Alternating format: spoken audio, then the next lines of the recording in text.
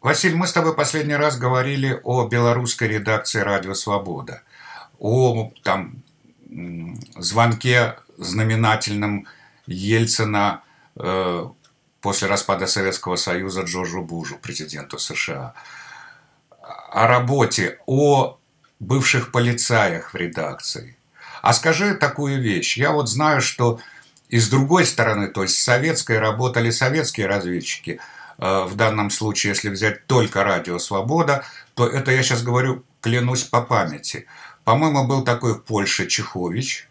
Анжей Чехович. Да, да. Анжей Чехович, она книжка была просто. И э, воспоминаний. А ты знаешь, что из Чехии был э, Минаржик, я да. почему его помню хорошо, потому что несколько лет назад кто-то его упомянул из моих знакомых в Чехии, из друзей, и э, дали его телефон. Я хотел взять у него интервью, чтобы спросить, как он теперь живет. Время-то много прошло с тех пор, как он вернулся, так сказать, еще в Чехословакию в те времена.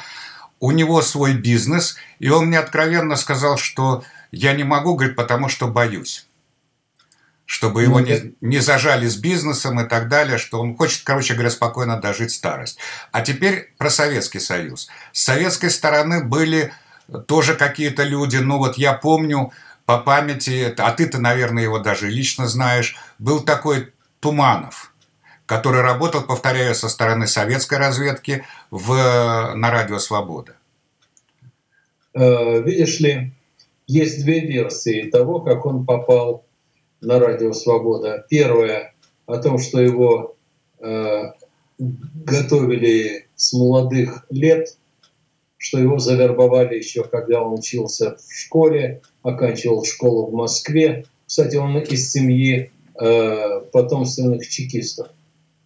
Папа занимал какую-то крутую должность в КГБ, и там же его дядя служил.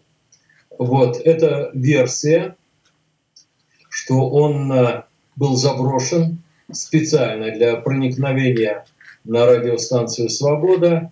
Э, его отправ... Вначале его отправили на учебу в Львовское высшее военно-политическое училище.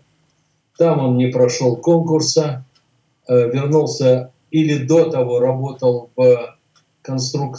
конструкторском бюро то ли Сухого, то ли Микояна и Гуревича потом был призван на флот, попал на службу на эсминец, который уходил к берегам Ливии. И вот когда э, эсминец бросил якоря у берега Ливии, там было несколько миль до берега, он э, э выпрыгнул за борт, вернее, спустился вниз по канату ночью, и доплыл до берега. Там попал в руки ливийцев. Ну, Каддафи мог выдать его, кстати, России, по Советскому Союзу тогда. В принципе, Что? Каддафи. Каддафи? Ну да, если он высадился под у Ливии. Больше того, я когда работал в окружной газете в Риге, то брал интервью у ливийских моряков, которые проходили стажировку на советских подводках, под, подлодках. Нормально. Вот. Ну и э, его привезли в, э, к англичанам, в Ливии доставили к англичанам, потом перебросили оттуда э, в Германию. Если верить его рассказам, угу. перебросили в Германию, там э, прошел дебрифинг,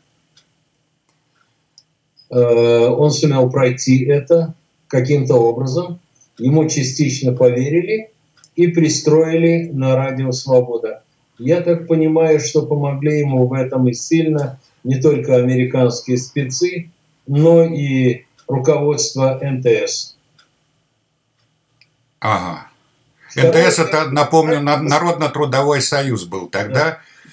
Вторая версия, что никто его не вербовал, а он просто прыгнул с эсминца, чтобы как говорят, выбрать. Я выбрал свободу. А сколько лет он работал там? Очень долго, более 20. Ты с ним встречался, работал рядом, видимо, где-то? Не раз. И, и встречался, и не раз выпивали. А, я очень удивлялся, потому что он не скрывал своих просоветских взглядов, а в, в комнате его я однажды увидел портрет Сталина на стене. Ну, это стебный момент, может быть. Это стебный момент. Но тем не менее. Понятно. А в принципе советские разведчики работали, получается? Не только он, Конечно, наверное. работали. Конечно, работали. Там э, отстаивались американские э, сотрудники ЦРУ, списанные в утиль по какой-то причине, сотрудники Госдепа, э, бывшие сотрудники американского посольства в Москве, но они были у себя дома, на американской территории, на радио «Свобода». А советская агентура работала э, в, так сказать, нелегальных условиях, но чувствовала себя достаточно вольготно. Понятно. Это тебе не секретарша у канцлера Германии. Не секретарша, а секретарь. Да, секретарь. Вилли Братта. Да. Да, это была история, ну так себе, достаточно. Ты вообще, я тебе должен сказать одну вещь, что в, в годы Холодной войны были три центра мирового шпионажа. Это Мюнхен, Берлин и Вена. Да. Поближе к границам э, с Советским Союзом и его... Да, это была опасная, опасная ситуация. Слава богу, что до войны не дошло, потому что э, советские войска точно рванули бы до Ла-Манша, в ГДР, э, в группе советских войск, по-моему, от 5 до 7 тысяч танков э, ударных танковых подразделений были вооружены. Т-80 по тем временам мощнейшая машина. Да, не хочу возвращаться к прошлому, но все это, получается, сдали, что подарили, что Ну вот тебе э, я сделал материал для независимой. Назывался он «Операция «Жираф». Угу. Или, читал, наверное, да? Ну, Или как, как советские офицеры по дешевке распродавали Родину. Я встречался с перебежчиками, судьба их печальна. Я встречался с перебежчиками из группы, которые после того, как стали, были офицерами в советской армии, да еще в ГДР служили, стали рабочими металлургического завода, делали рельсы, батареи, отопление. В общем, чудная карьера. Что, мало продали или не успели? А? Мало продали, говорили? Продали вплоть до бокала пива. Но на жизнь не хватило им, видно, да? Один даже умудрился вытащить с территории советской воинской части в ГДР новейшую противотанковую ракету, завернутую в ковер, который он положил в багажник машины. И вывез? Задержали. А, не смог, ясно. Я точно не знаю. Э, то ли вывез, то ли его задержали. Я думаю, что, скорее всего, вывез. Скажи такую вещь, а, кстати, раз коснулся вопроса. А если с другой стороны посмотреть, ты упомянул перебежчиков, но были и солидные перебежчики. А, встречался ли ты с ним, приходилось ли тебе, или приходили они на радио «Свобода», ну, тот же Гордей. Вот я знаю по Лондону, по BBC к нам приходил э, Суворов, ну, э, Резун, да? да. Приходил а Гордеевский, он выступал по радио, как раз книжка у него вышла там про историю КГБ. А вот этих э, ребят, как говорится, покруче... Я встретил, я встретил Резуна Суворова тоже в коридоре «Радио Свобода». Э, идет такой плотный невысокий мужичок в гражданском, в цивильном, но с военной выправкой. Я еще по старой доброй советской привычке отдал ему честь. Ну, понял, военная косточка. Он мне ответил, ты знаешь, в пустой голове не прикладывай. Ну да, это армейская присказка а, известная. шутка. Так мы с ним познакомились. И, если помнишь, генерала армии Махмуда Гореева. Да, но это старая история. Это не совсем старая. Он, он был с делегацией э, Минобороны на Радио Свобода уже во времена вегетарианские. И э, он меня потряс. Я спросил, «Ну, товарищ генерал, а чем сейчас занимается Беленко? Который угнал да, вот в Японии ее МиГ а, да? новый советский. Да, это, было такое летчик. Да? А он говорит, а кто это такой? Я говорю, ну как же, угнал самолет в Японию. Да. Вы его если... А, это тот, который на МиГе-17 улетел. И я понял, что, ё-моё, староват уже, чудит генерал. Ну, это генерал был в Советском Союзе, а там дали, наверное. Я, я, ты сказал, что встретил этого. Я вспомнил, как приходил Гордеевский Олег. Угу. Это э, сотрудник э, КГБ, бывший, бежавший в Англию. Полковник, резидент в Лондоне. Да, он солидную должность занимал, он в этом смысле Все. полезный товарищ, так сказать, оказался для Запада. Вот он приходил к нам на интервью, когда э, выступал там. И мне что поразило, он э, стеснялся, или для, ну мне коллеги сказали для конспирации, потому что я не мог понять. У него был парик.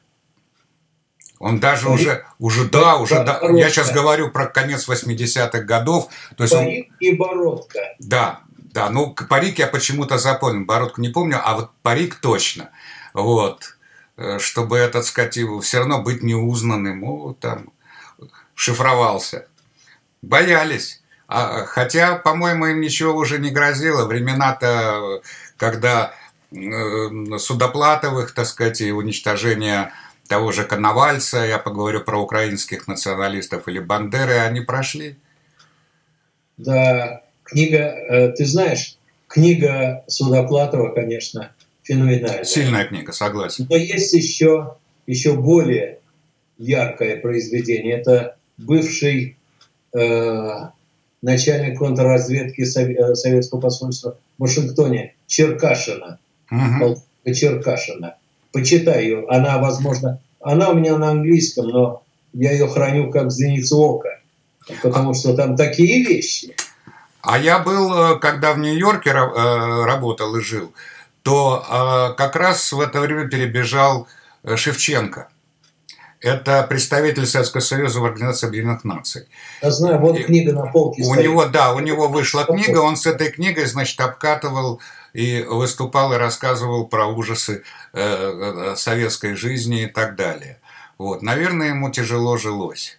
Очень э, тяжело. Очень, очень. Он бедствовал, ты понимаешь, замест... фактически заместитель Громыка, выездной, э, роскошный пост в ООН. Халявный, да, да. да. И обеспечивал ширпотребом всю элиту советскую, включая министра иностранных дел и его семью. На чем он э, погорел, я не знаю. Ну, была такая мулька о том, что на Западе их ждет еще больше денег и льгот. Да, да, да. Понятно. Слушай, давай э, маленький вопрос, касающийся актуальной относительно на ближайшее время темы, во всяком случае. Это по поводу Международного олимпийского комитета и допинга. Как ты считаешь, это правда? У меня такое впечатление, что Запад немножко раздувает э, всю эту, раздул эту историю. Да нет, мне кажется, что не раздувает, потому что я где-то читал, что возможности, человеческие возможности спортсменов, атлетов высшего международного класса были, были исчерпаны еще в середине прошлого столетия. После этого без допа ничего достичь э, было нельзя. И когда я работал в Риге в газете, то брал интервью у одного серебряного призера Олимпийских игр по гонкам на велотреке. И я брал интервью у спортивного диспансера. И он мне показал пальцем и сказал, Вася, э, вот здесь куются наши медали, наши победы. Я спросил, не понял, где Ну как, говорит, в лаборатории. Ясно. Все, все по-честному, потому что Запад очень долго закрывал глаза. Подожди, но Запад не надо из себя строить девочку. Они что, такие принципиальные? Давай по ну, принципу, если нет. сам дурак, у них что, нет такого? Но нет, нет массового, нет организованного государством, Министерством спорта, например. Я более чем уверен, что Мутко знал, да, все, все вороны на телеграфных столбах знали это. Тоже мне секрет Полишиней. Да. Ты помнишь, как круто обошлись э, э, МУК с Беном Джонсоном, феноменальным канадским бегуном на, э, в спринте? Пожизненно из спорта ушел, да? Все. И так очень часто бывает. Э, конечно, здесь примешивается и антироссийский привкус. Есть у этой истории. Ну, если но, повод есть, так почему не прицепиться? Ну, конечно. Э, но вообще-то спорт – это часть политики. Спорта, отделенного от политики, не существует в этом мире. Сегодня уже нет его, да? да спорт – это политика. Это с Гитлера пошло, с 1936 -го года Олимпиады, ты имеешь в виду? Я не думаю. Другое дело, что Гитлер э, с помощью Олимпийских игр э, проповедовал верховенство арийской расы, хотя немцы далеко не арийцы. Да? да.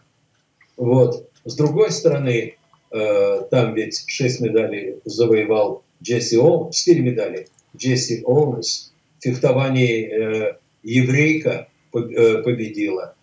Гитлер отказался пожать руку или пожал руку, но с э, такой миной на лице. Но нет, э, допом тогда не занимались. Скажи, пожалуйста, раз ты упомянул Германию, или мы, вернее, в разговоре, а, а вот ты все-таки живешь очень давно в Мюнхене, в Германии, знаешь эту страну изнутри, а, и многое о ней – вот э, мне попадалась информация, что немецких солдат и военнослужащих во время войны нацистов, э, э, что их снабжали в массовом порядке, особенно летчиков, какими-то таблетками вот такими вот тоже тонизирующими. специ... Это правда? Это правда. Потому что у меня наверху живет бывший офицер Waffen-СС, ему уже 92 года. И он подтвердил, я у него спросил, Зеп, Кормили тебя первитином? Да, нам давали первитин. Но самое интересное не, не в этом, а в том, что я вычитал в интернете где-то, я не знаю, правда или ложь, что советских пилотов кормили первитином, иначе не, не выдержали такую интенсивность полетов. Ну, по 5 по 6 вылетов в сутки. Интернет в этом смысле не источник. Все-таки согласись. Хорошо, Хорошо, ну что ж, будем есть натуральные продукты, натуральные э, если, э, еду, если насколько заставим, это позволит жизнь.